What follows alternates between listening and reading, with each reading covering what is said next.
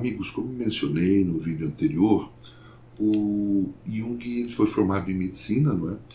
é na universidade e em especialização em psiquiatria. E nessa especialização em psiquiatria haviam, haviam obviamente os serviços psiquiátricos e ele teve a sorte, podemos dizer assim, de fazer esse serviço psiquiátrico ligado ao Hospital é, Psiquiátrico Burgos, ali na Suíça, dos mais prestigiosos do mundo à época. Também pelo, pela direção do hospital, é, capitaneada por Eugene Bloiler, é, que apoiou Jung em tudo que ele fez no hospital, principalmente os seus chamados experimentos de palavras, que vai um pouco mais à frente ligá-lo a Freud, por vias que vou falar.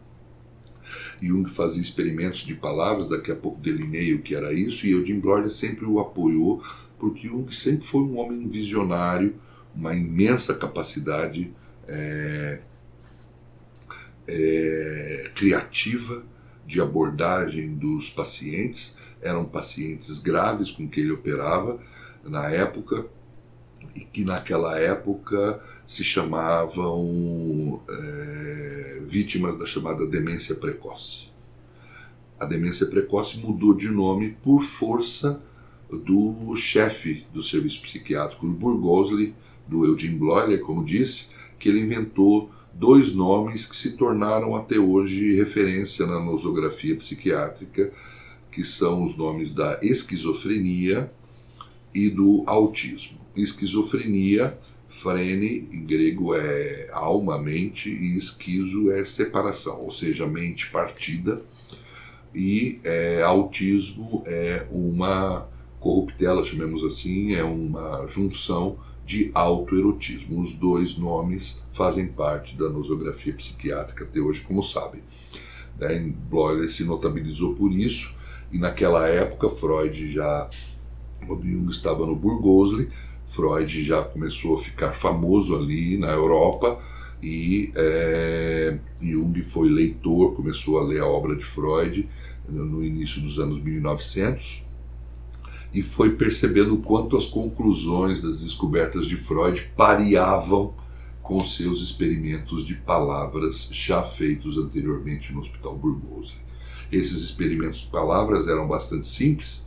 Os pacientes eh, eram convidados a falar uma palavra eh, depois de uma palavra posta pelo experimentador, que era Jung.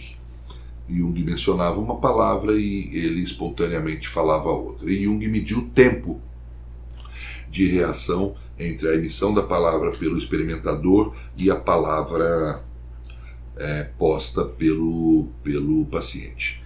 E ele fez supor de que conforme aumentava o tempo de resposta, ele supunha que havia algum complexo afetivo importante ligado àquela palavra que o analisando demorou mais tempo para aliviar a mente. Né? E por conta desses experimentos com palavras que ele vai ter essa receptividade absolutamente intrigada sobre a obra de Freud que lhe caía às mãos e fundamentalmente a interpretação dos sonhos, que foi publicada em novembro de 1899, mais com data de 1900. Né? E a partir da leitura da interpretação dos sonhos começa um conjunto imenso de missivas entre os dois, de cartas para lá e cartas para cá. Voltamos em seguida.